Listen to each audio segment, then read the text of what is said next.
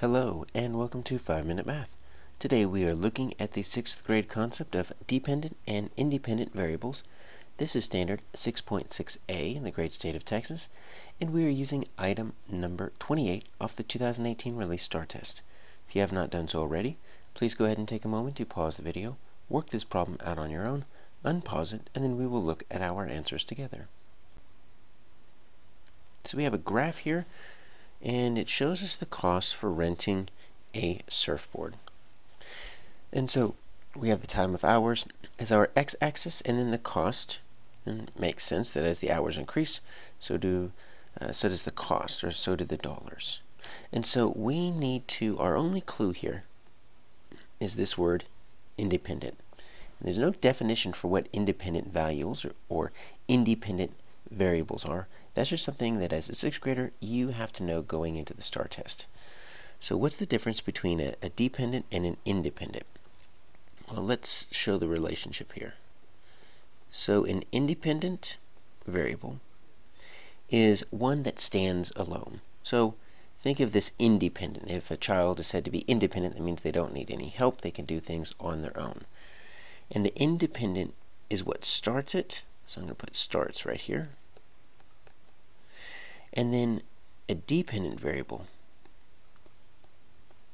changes based on the independent variable. So this is kind of where we finish. When we're looking at how to calculate something, we start with our independent, figure that out, and then that's going to change our dependent variable. So let's take a look at our values that we have here. So we've got our x, which is our hours. I'll just put time right here. And we've got our y, which is our cost. So it looks like our time is pretty simple. It's just going to go up by ones. They're just showing you the cost. One hours, two, three, four, five, and then six. And then the cost, let's see, that first one is a little bit kind of difficult. Let's look at that second one. That's 15.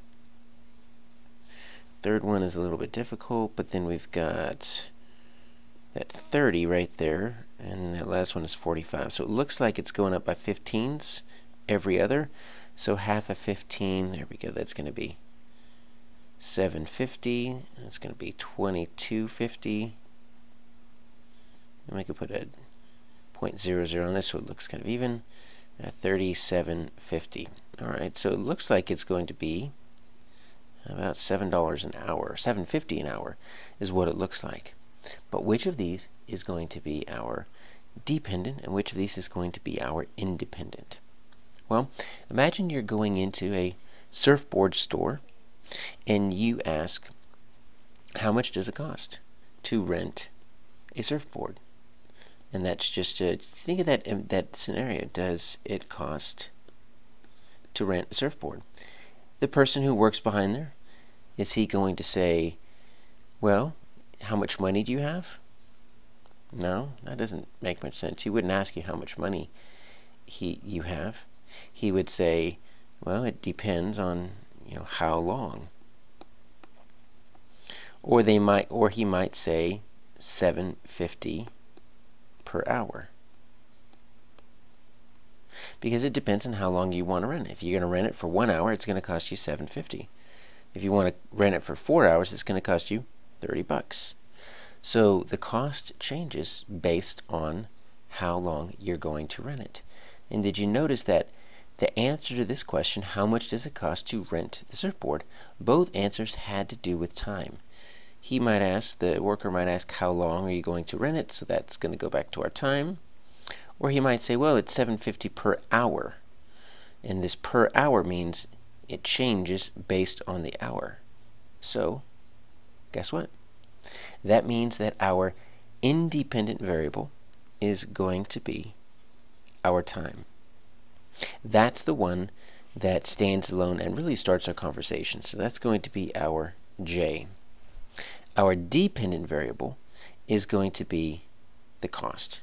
The cost changes based on how long you rent the surfboard.